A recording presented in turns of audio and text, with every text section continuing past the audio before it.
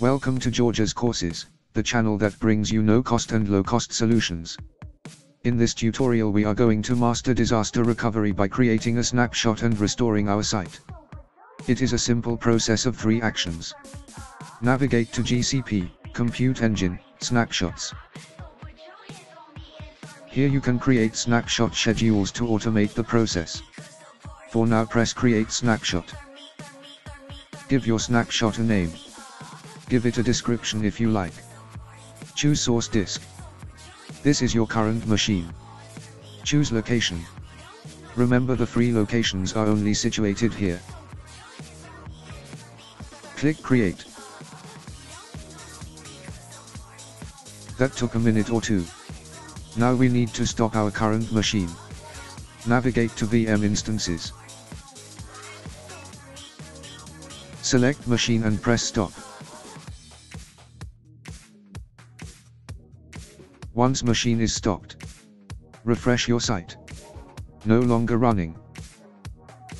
Site can't be reached. Back to GCP, select snapshots.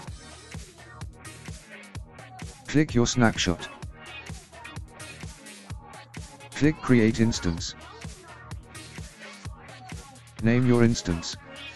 Choose location. Remember the free machine must be located in one of these locations. Choose your machine configuration. This is where you can upgrade to a more powerful machine.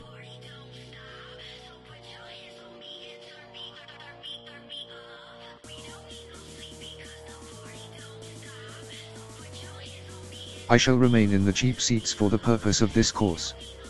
That way later on in the course my web.dev and page speed insights tests shall be in line with yours.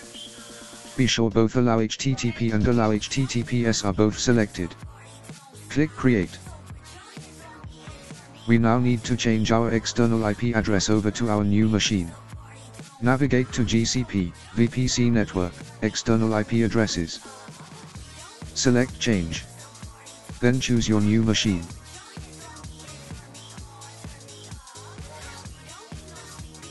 Refresh site.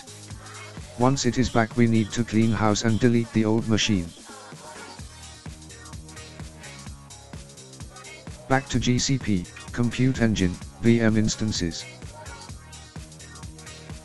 Select your old machine and delete. Lesson complete. If you have found this video useful, like, subscribe, and share the word of the free. As always any questions or comments please feel free to leave them and we will get back to you as soon as possible. Stay safe. Regards from Ramsgate.